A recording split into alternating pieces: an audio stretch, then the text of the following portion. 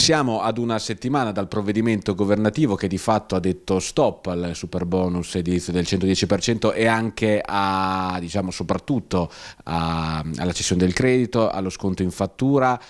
ripercussioni importanti sul settore dell'edilizia. Ne parliamo oggi con Giuseppe Balzano della Balzano Consulting Group che appunto ha il polso della situazione di tante imprese nel nostra, nella nostra provincia. Le difficoltà eh, questo, a seguito di questo decreto sono tantissime perché il settore dell'edilizia adesso ha subito già da subito un rallentamento importante.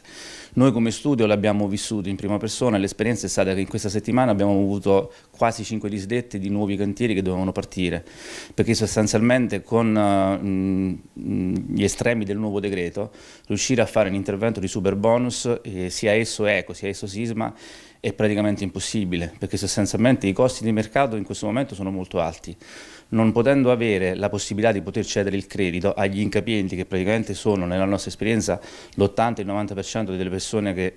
si accingono a iniziare questi lavori diventa veramente difficoltoso anche perché ehm, il super bonus ha una detrazione fiscale in 4 anni quindi riuscire a gestire importi grossi come quelli degli interventi di super bonus in 4 anni fiscalmente diventa eh, estremamente difficile e quindi c'è al di fuori della cessione una, mh, mm, cioè al di fuori della quota che può andare in detrazione fiscale c'è di conseguenza una, un grosso esborso economico da parte dei committenti e non tutti riescono a sostenere un intervento del genere. Quindi abbiamo subito, diciamo, abbiamo già eh, appurato un, un forte stop delle attività.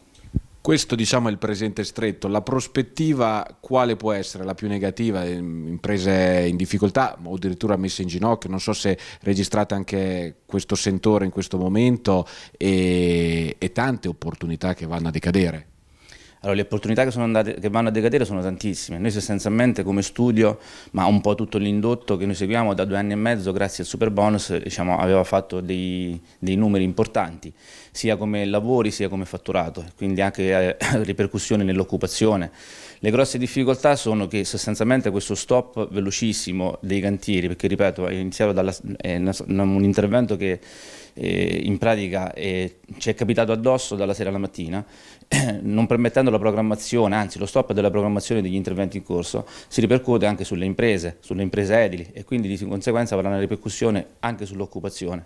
Il super bonus andava ad aiutare le persone che avevano un reddito basso, però la conseguenza qual è? È che, ha, è che chi ha un reddito basso di conseguenza ha una bassissima capienza fiscale,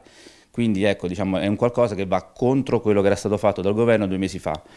Questo che cosa succede? Succede che eh, va anche contro quella che era la direttiva europea che è venuta fuori circa un paio di mesi fa o nell'ultimo mese, la quale impone ai fabbricati entro il 2030 e il 2033 di raggiungere delle classi energetiche abbastanza alte e senza dei contributi da parte dello Stato diventa veramente difficile farlo. In tutto questo contesto non è tutto nero, ma eh, esistono anche degli spiragli interessanti. Allora, diciamo che noi come studio l'abbiamo interpretata in questo modo, nel senso che sostanzialmente eh, questo decreto si applica a tutte le pratiche edilizie, ovvero alle CILAS, ovvero ai lavori che non sono ancora iniziati alla data di pubblicazione del decreto. Quindi sostanzialmente avendo lavorato noi molto in precedenza, quindi abbiamo parecchi CILAS, la CILAS è la pratica edilizia che si presenta per avere il super bonus, avendole presentate diverse precedentemente, l'aspetto positivo che riteniamo possa avere questo uh, stop, ma è, è, un pagliativo diciamo così, è il fatto che adesso avremo più tempo per poter far partire quei cantieri che erano tanti e che devono partire perché ne hanno diritto avendo appunto presentato la pratica edilizia prima della pubblicazione di questo decreto.